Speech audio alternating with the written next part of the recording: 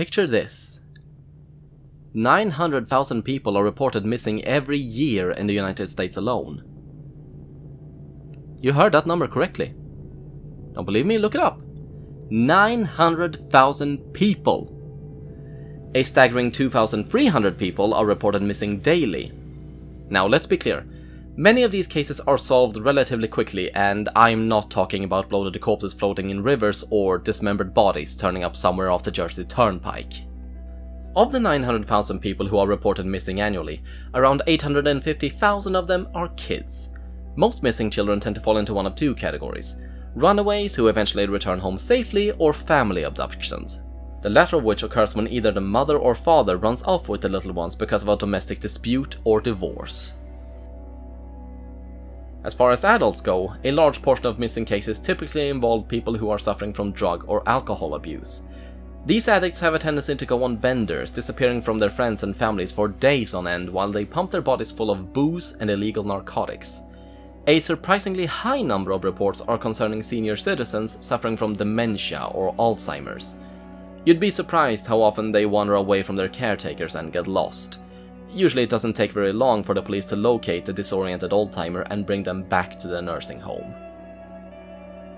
Given these facts, we see the number of people, both children and adults, who are abducted by strangers is actually relatively small. Only about 150 of these kinds of abductions are estimated to occur in the United States annually. Now picture this. You were an artist, a painter specialized in Impressionism. You loved art all of your life. You saw a coffee table book when you were 12 years old that had a picture of Blue Dancers by Edgar Degas, and you couldn't look away from it. You were mesmerized by the colors, the brush strokes, the way the girls in the painting contorted their bodies.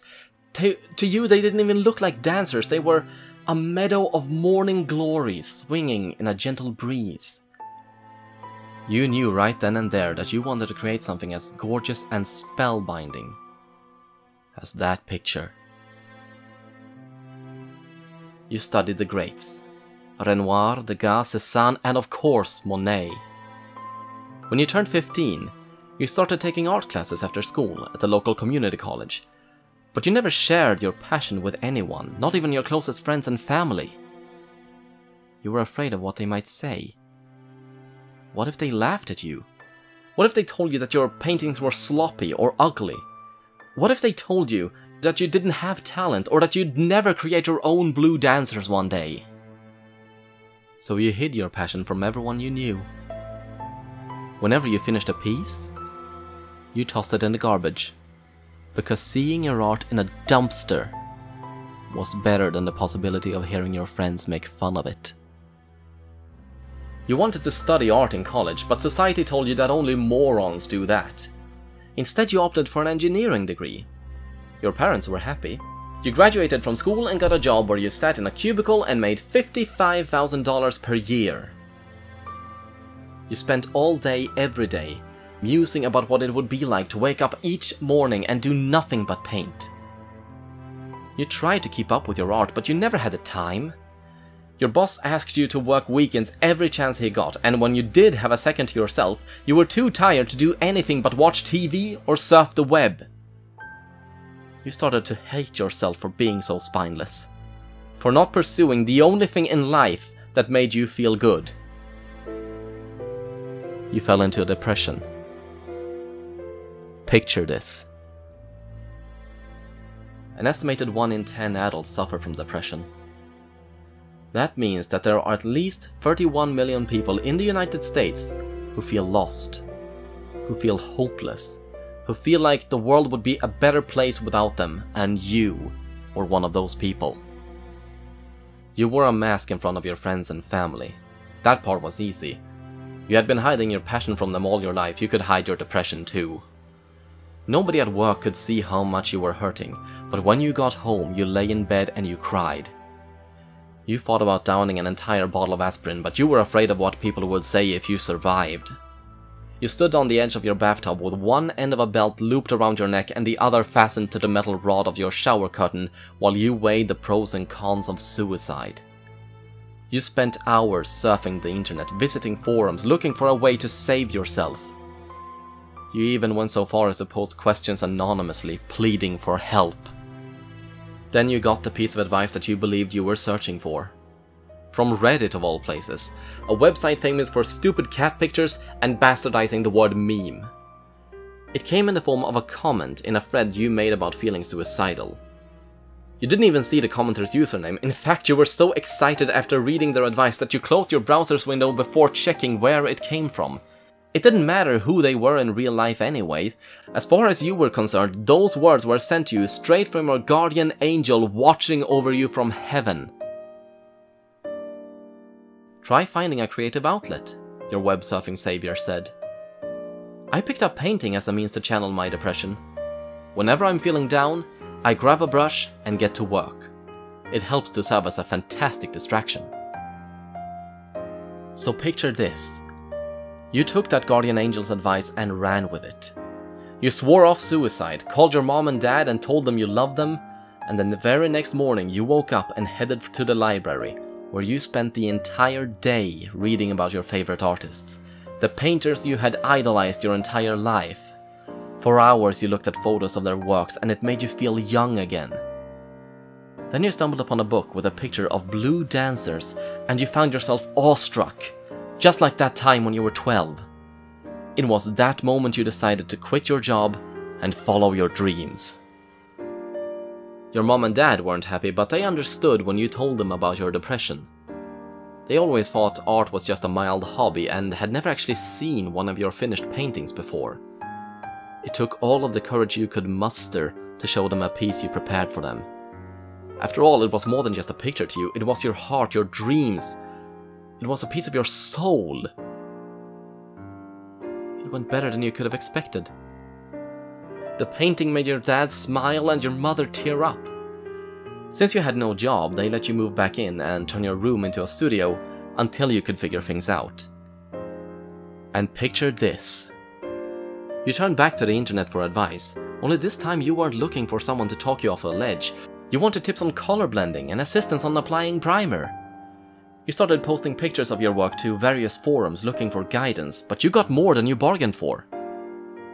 You began receiving compliments total strangers telling you how much they loved your art. A few people even commissioned pieces from you. You sold your first painting for $300 to a newlywed couple in Minnesota who said your art would be perfect for their new home. It was surreal. All you ever wanted to do was paint, and now people were paying you to do it. You opened an online store, started a blog, and even built a website with links to all of your social media accounts. You began to rack up followers on Facebook and Twitter. A couple of your paintings were blogged around the internet thousands of times. An art enthusiast magazine even did a feature on one of your pieces. It wasn't on the cover or anything, but it was an honor just to get a tiny blurb. Eventually, you made enough money to move out of your parents' house and get a small apartment of your own. You certainly weren't rich, but you got to wake up and do nothing but paint every day, just like you always dreamed. One morning you opened your eyes to see a half-finished commissioned piece staring back at you from across the room. Rays of early morning sunshine shimmered in through the window, falling on the partially completed painting. It glimmered in the daylight. You thought about how lost you would have been if not for that guardian angel on the internet who convinced you to paint your sadness away. You smiled to yourself the first time in a long time that it wasn't forced because you knew that you were finally happy. But picture this. When one begins to receive admirers, they also start to attract critics. People who question how or why you got to where you were in your career. Some of them were jealous.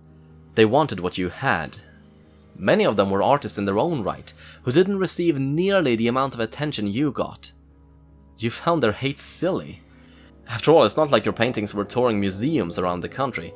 You were barely scraping by, but they couldn't support themselves on their art, so they hated you.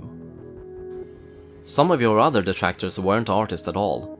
They were trolls who couldn't stand to see another person happy, so they did their best to knock you down a peg. They used the cloak of anonymity to message you through Twitter just to call you names. They told you that your work was crap, but when they said that, they weren't just insulting your paintings, they were insulting you. Remember, your art was a reflection of your heart, your dreams. It was a piece of your soul, and these sorry excuses for human beings, hiding behind idiotic user handles, were shitting all over it. And then something strange happened. You no longer heard the praise and the compliments. They were still there, but almost muffled in a way, suffocated and drowned out by a vocal minority who only wanted to see you fail. You fought to prove yourself, to paint something that would make even your most overly zealous hecklers change their minds about you, but the more of your heart you poured into your work, the harsher the words became. The closer you got to creating your very own blue dancers, the more hate and vitriol they spewed at you. It began to consume you. It was all you could think about. Picture this. Hacking isn't nearly as difficult as Hollywood would have you believe it is. You don't need to be a sit-faced computer whiz that spends 18 hours a day in a dark basement eating Cheetos and drinking Mountain Dew to learn how to do it. You don't even need to know how to get around firewalls or disassemble code. All you need is patience patience and the understanding that people, even anonymous internet trolls, get a little too comfortable and give away personal information without even thinking about it. Now picture this. The haters kept coming for you. Every time you posted a picture of your work or announced another sale on Facebook, there they were, popping up like a rash of pus-filled herpes sores. One commenter in particular got really under your skin. His username was DarkPainter97, and every remark he made on your art blog was rude and spiteful. Overrated, he called you. Unoriginal and uninspired as well. You could see the resentment seething out of every comment he left underneath your posts. You had grown sick of his cyberbullying, Part of you wanted to see what this keyboard warrior looked like in real life, so without thinking you clicked on his username. The link directed you to the profile page of his blog, but he didn't have any pictures uploaded to it. However, a caption in the About section caught your eye. It said, Follow me on Twitter at DarkPainter97. You checked out his Twitter account to see if this anonymous jackass had posted any pictures of himself. He hadn't, and his profile picture was just some stupid cartoon character, but you did notice he was very active on his account. He went back and forth tweeting jokes with one particular user quite frequently, a teenager whose username included his real name and a very clear face pic. They appear to be good friends. You realize that the 97 in Dark Painter 97 was most likely a reference to the year your tormentor was born. It made sense, it takes a certain amount of immaturity and free time to cyberbully someone, and teenage boys have both of those in spades. You performed a Facebook search on his friend's name and found him pretty easily. His profile page had the privacy functions disabled and it wasn't hard to poke around. This teenager only had about 125 friends on Facebook, so you began filtering through the list, looking for boys who were born in the year of 1997. It only took you about an hour of sifting through the profile pages until you found something that struck a chord with you. It was a boy who fit the bill. He was a smarmy little weasel who looked like he hadn't been outside a day in his life. Everything about his face irked you, from his bird's beak of a nose to the pair of bulky camouflage printed Oakley sunglasses he was wearing in his profile pic. You wanted so badly to smash his smug little smile into paste. Then you looked at the info section of his page and you felt the light bulb in your head slowly begin to brighten. Likes. Gaming, manga and painting. Okay, that's a check, but liking a... Okay, that's a check, but liking to paint doesn't automatically make him the culprit. Birthday. June 26, 1997. Double check. And of course, Follow my art blog at darkpainter97. Checkmate, bitch. You had him. You knew what the insufferable little troll looked like, where he lived, you even knew what high school he went to. In just over an hour and a half, you had learned everything you could ever want to know about him. But what were you going to do with your newfound information? According to his Facebook, he lived a state away. That's a long way to go just to tell someone off. You told yourself that driving over state lines for the sole purpose of yelling at some idiot kid was crazy, but you couldn't stop yourself. It was like someone else had taken control of your body. Before you knew it, you were on the interstate, halfway between the teenager's hometown and your apartment. You stopped off for a burger when you hit his county, and looked his parents' information up on your cell phone. Finding their home address was easy. The time was around 4 pm when you pulled up to his house, According to their Facebook pages, his mom and dad both worked 9 to 5, so you figured they wouldn't be home yet. You could see the little brat through the window fiddling around on his computer, probably leaving another disparaging comment on the latest picture you uploaded to your blog. Either that or looking at porn. Things had worked out too perfectly for you. You had come too far to not give him a piece of your mind, so you pulled your car into the driveway and knocked on the front door. You could tell he was confused when he answered it. He had no idea who you were, which was something you found funny. If you had spent as much time as he did harassing someone on the internet, you figured you'd at least recognize them if they were standing at your front door. You opened your mouth to speak. You even pointed an accusatory finger at him, but his entitled little face made you so damn angry. You blacked out. When you came to your senses, you were standing over him in the foyer. Now that arrogant look on his face was gone.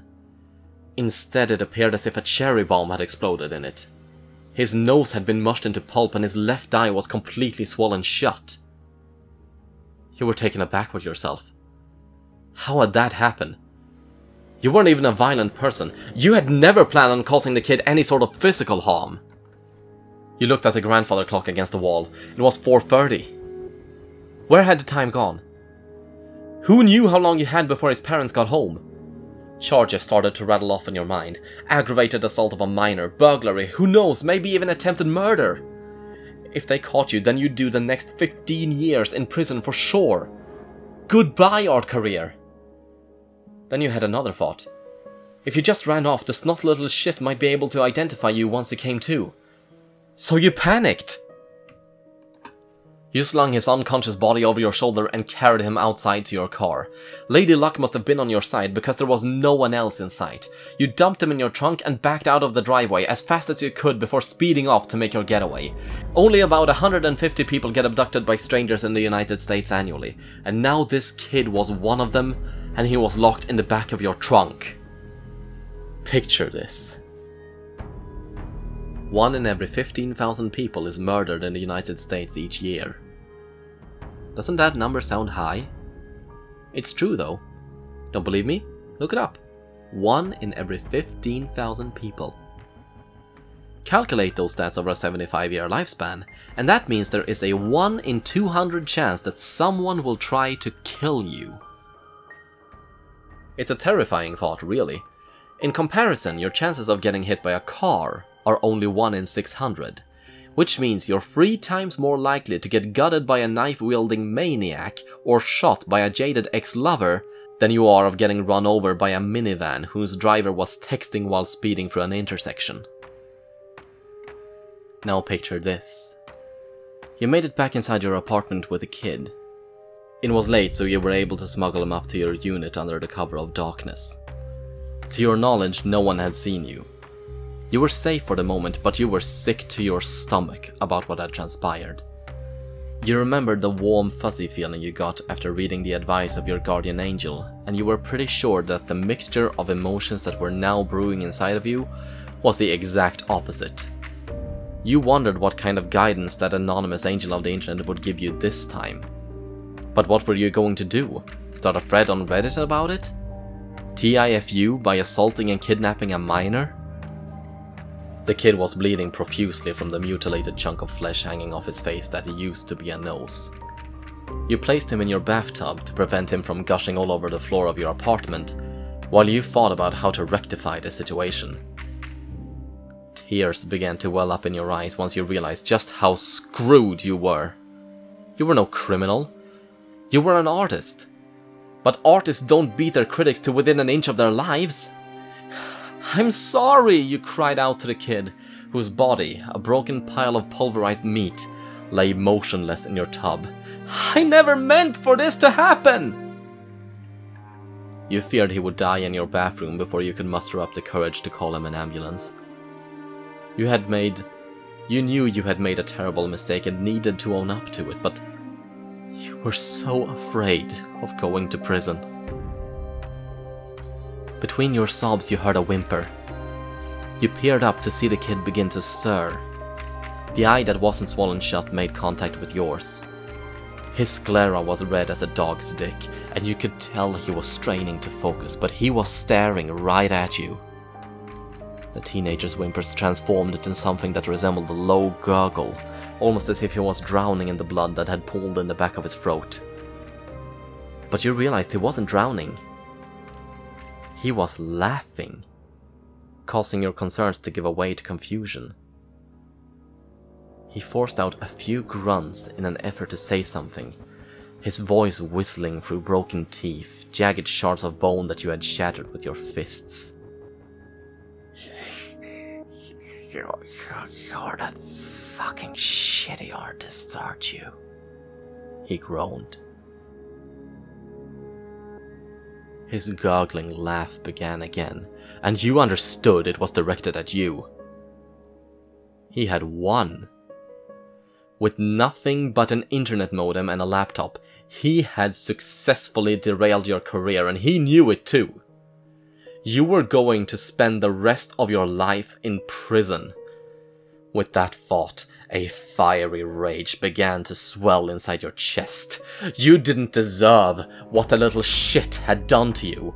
All you wanted to do was make art, to paint your own blue dancers, and this entitled piece of trash had taken it away from you. There was no blacking out the second time. You were fully aware of what you were doing when you mounted his body and began to pummel his face. With each blow, you could feel his cheekbones collapse more and more underneath your knuckles. You clawed at his eyes like a rabies-stricken animal, then forced your hands inside his mouth and pulled out his jaw, popping it from his hinges. And when your arms got sore, you stood up and let your boots take a turn at the kid's cranium. Picture this. It takes 200 pounds of pressure to crush a human skull. By the time you had finished wailing on the teenager, his head looked like a plate of pink and purple mashed potatoes. One in every 15,000 people in the United States is murdered every year. And now the kid whose brains were currently spilling down your bathtub's drain was the newest casualty of that statistic. You washed his blood off your hands in the sink and tried to calm down a bit. After looking back at the headless corpse in your tub, you realized you were a little frightened with yourself, but it wasn't because you had just murdered a teenager in cold blood.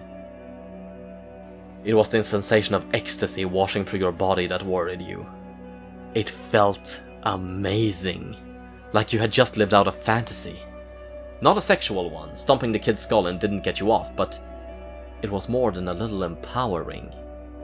The snotty turd deserved everything he got, but now you had a new problem on your hands. It didn't take a criminal mastermind to know that keeping the kid's body in your tub was a bad idea. But getting rid of it wasn't as simple as chucking it down the trash chute. You were an artist though, and artists have creative minds. So you did what creative minds do you got creative. Picture this. On average, 75 people are arrested in the United States for having sex with the deceased every year. Don't believe me? Look it up. 75 people. This is especially concerning considering there are four states, Louisiana, Kentucky, Oklahoma and North Carolina, where necrophilia isn't even against the law. Of the 75 people arrested for making love to the dead annually, nearly half of them work in mortuaries. Given these facts, one can assume that funeral homes are a magnet for necrophiliacs. It makes sense when you think about it. After all, it seems like the dream job for someone who indulges in that kind of fetish. Many psychologists believe that only a small fraction of these people actually have sexual attractions to dead bodies. Most engage in necrophilia due to social anxieties. It's the fear of rejection or the body's inability to perform under pressure that causes people to strain down this path. Corpses can't laugh at the size of your penis or roll their eyes if you can't get it up, so people find comfort and safety in the dead. It is for that reason that a staggering 94% of necrophiliacs are men. Just like any sexual fetish, Necrophilia has its own dark little community on the internet. If one looks hard enough, they'll be able to find forums where users anonymously trade pics and tell stories of their latest sexual conquests. Well, I say anonymously, but as I explained before, when it comes to the internet, people have a tendency to get a little too comfortable and give away their personal information without even thinking about it. So picture this. You opened up your laptop and did a little digging. Google isn't magic. Within minutes you were perusing a forum full of cadaver-loving freaks. An hour or two of browsing and you stumble upon a friend that sparked your interest.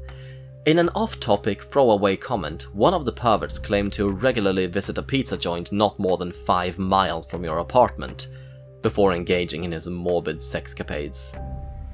After scanning his comment history, you saw that he often bragged about how his job supplied him with an endless stream of what he called his real love dolls. It turned out he was a mortician who really enjoyed the alone time he spent with the corpses he was supposed to be beautifying. You created an account and messaged him, claiming to be a 19 year old girl who was really into watching guys screw stiffs. When he asked for verification, you scrounged up some pictures of your friend's little sister and sent them to him.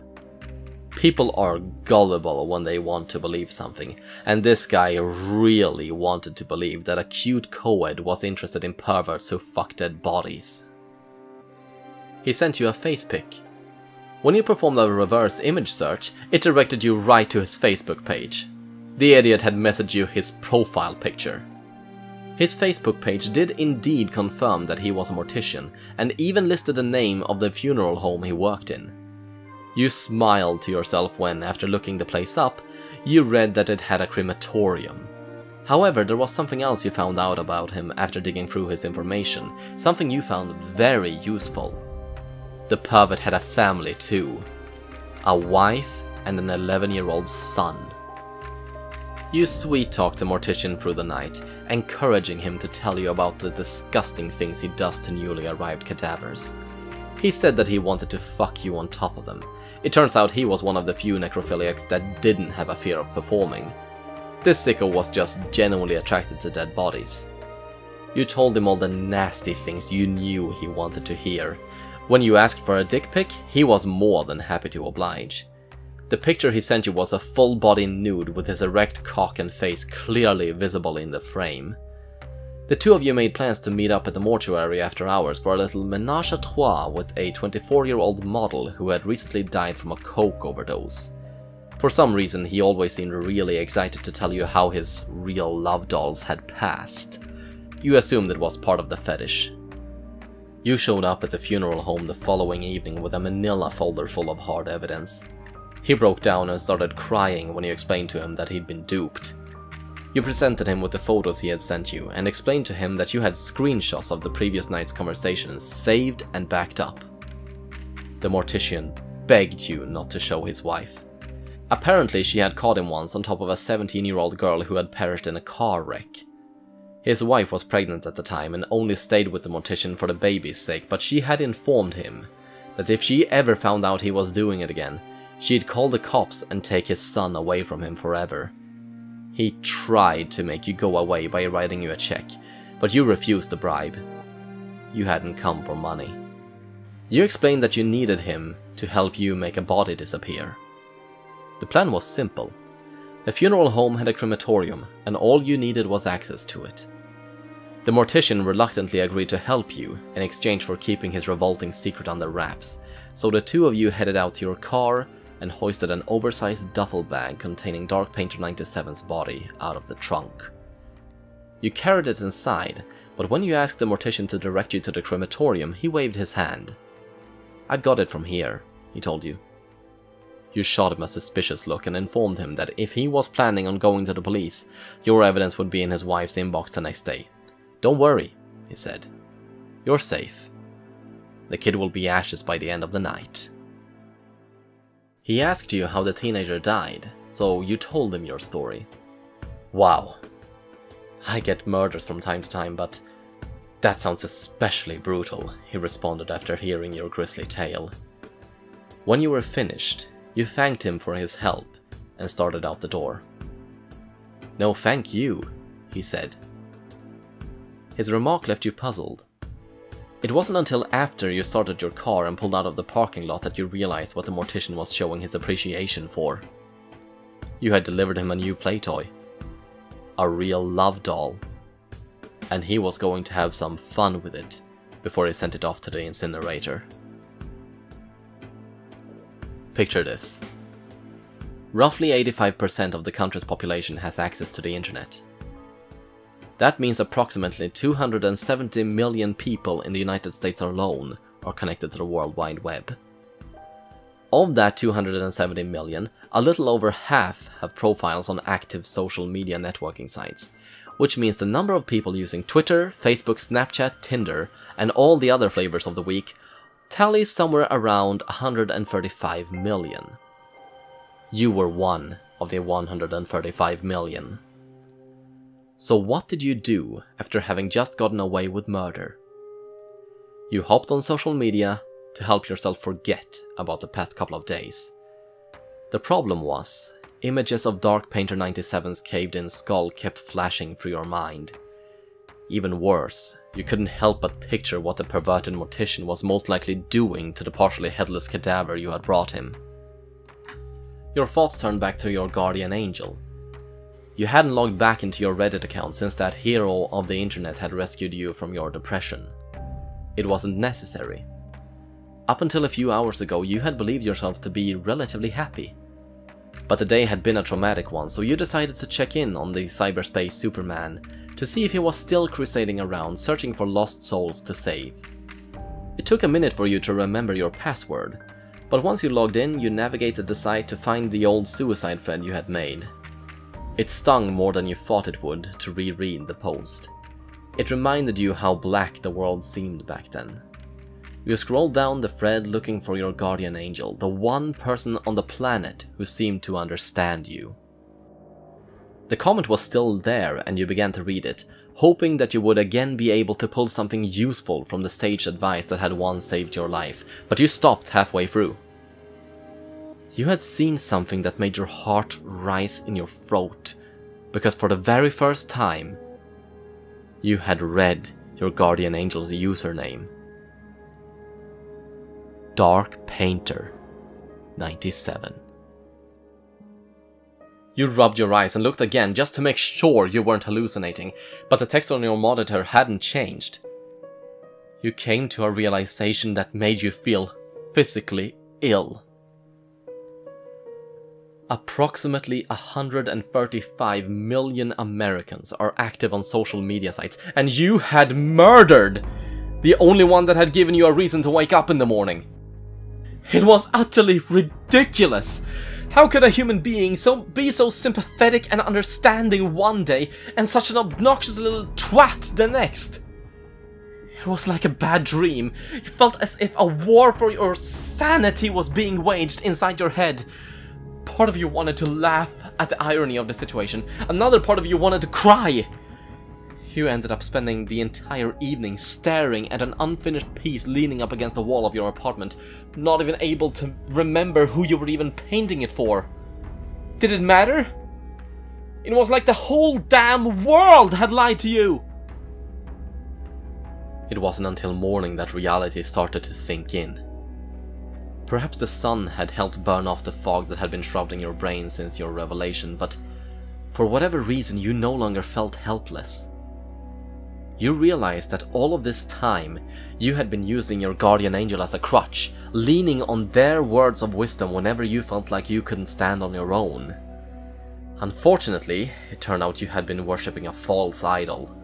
In reality, your champion had been a chump all along, just another jealous wannabe who only cared about seeing you fall. The, the sick part was, you knew Dark Painter 97 was just the tip of the iceberg. You had other critics, worse ones, and they deserved everything he got, maybe even more!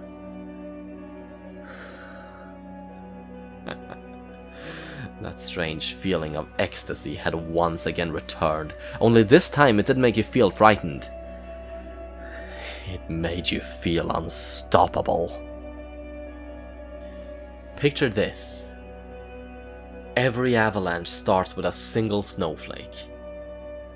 Contemplate that for a second. It's a crazy thought, but it's absolutely true. The fact that a force so deadly and dangerous can come from something so innocent and harmless is remarkable. When you first started snooping around that annoying internet troll's Twitter account, you couldn't have had any idea what it would lead to. There was no way to predict that mere hours later, you would be passing off his headless corpse to a mortician with a fetish for the dead. There was also no way to anticipate the other murders it would lead to, but after discovering that you had killed your guardian angel, you felt like there was no point in simply ignoring the rest of your critics. So you sought them out, and made them pay for every hurtful comment they ever messaged you. You started with those who only lived a day's drive away. Like a predator hunting its prey, you'd stalk them, laying in wait for the perfect time to strike. Their deaths were usually agonizing ones. You made sure that each and every one of your victims suffered painfully. The mortician was in your back pocket. You still had the ability to blackmail him, he feigned frustration with his predicament, but both of you knew he was happy with the arrangement. After about the third or fourth love doll you brought him, he began making requests. I'd really appreciate it if the next one you brought me didn't have teeth, he would say. Can you get me someone who maybe has a genetic birth defect? You entertained his bizarre fetish. After all, it didn't matter to you what happened to the bodies you were bringing in, as long as they were a pile of ashes in the morning. The mortician had a network of people like him, hardcore cadaver humpers across the country. Many of them also worked in funeral homes and had access to their own crematoriums. Things probably started to snowball out of control when you find yourself going on vacation just to off another critic. Painting had become secondary to you. It no longer thrilled you the way murder did. You only kept doing it and posting photos on the internet as a means to find more people to kill. You no longer strove for perfection in your art, blue dancers had drifted further away than ever. You started to purposefully make mistakes in order to attract more negative opinions. After a while you didn't even care if the people you were hunting were offering genuine constructive criticism or not. No one was safe. But even an avalanche finally reaches the bottom of the mountain. One day, a detective showed up at your apartment and started asking questions. He was trying to connect the disappearance of two of the people you had killed. You could tell by the look in his eye that he didn't consider you a suspect yet. But you knew that he was smart. It would only be a matter of time before he put the pieces of the puzzle together and realized what you had done. So picture this. You packed up your belongings, emptied your bank account, and left town that night. You didn't want to rot in prison, so you moved to the other side of the country and changed your name. With a haircut and a pair of colored contact lenses, you always wanted hazel eyes, you started a new life for yourself. In a few days you would read about yourself in the news, an up-and-coming painter who suddenly disappeared without a trace. 900,000 people are reported missing every year and now you were one of them. A few days after that, you were the main suspect in the deaths of two of the people that the detective had questioned you about. The cops were never going to find you, though. You were too smart for them. But there was a problem. People still needed to die.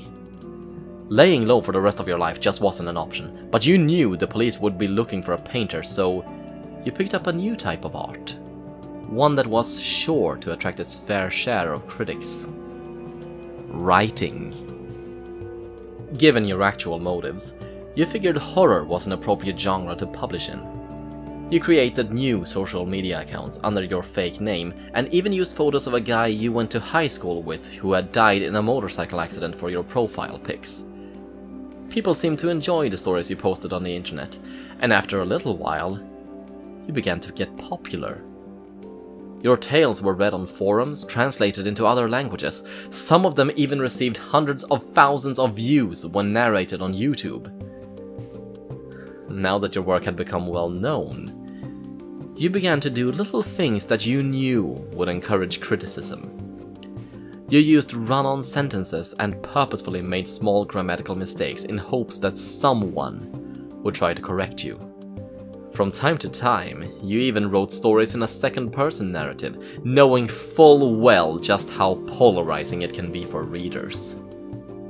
You stayed connected to the mortician and his network of perverted funeral workers. Your trap had been set, and now all you had to do was in wait for critics to come along who couldn't resist tearing your work to pieces. And along they came like a moth to a light bulb. People were drawn to the flaws you had engineered into your writing. They pointed them out, under cover of anonymity, but the masks they wore were as flimsy as paper mache. There is no privacy anymore, no way to truly remain faceless. If someone wants to dig hard enough, they can learn as much about you as your closest and dearest friends. So let me ask you a question. One that I'm sure a lot of you will laugh off once you realize whom this story is about. But one you'd be wise to take very, very seriously next time you post on the internet. Are you picturing it yet?